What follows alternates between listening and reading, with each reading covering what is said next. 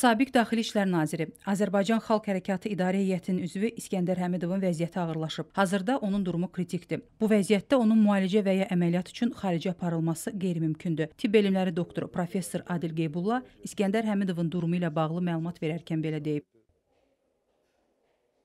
Müayinələr nəticəsində həm də məlum oldu ki, beyninə qan sızma, sağ yarım kürədə böyük bir işemiya zonası var və həmin dövrdən intubasyon e, deməli süni ventilyasiya şəraitindədir və vəziyyəti kritikdir. Yəni işemiya zonası çox böyük olduğundan onun ayılması hətta mümkün olsa beyin çox ciddi itkilərlə üz-üzədir və ayılma riski də e, yəni azdır. Ayılma da ehtimalı azdır və ona görə də vəziyyəti kritik dəyərləndirilir. Ağır koma durumundadır.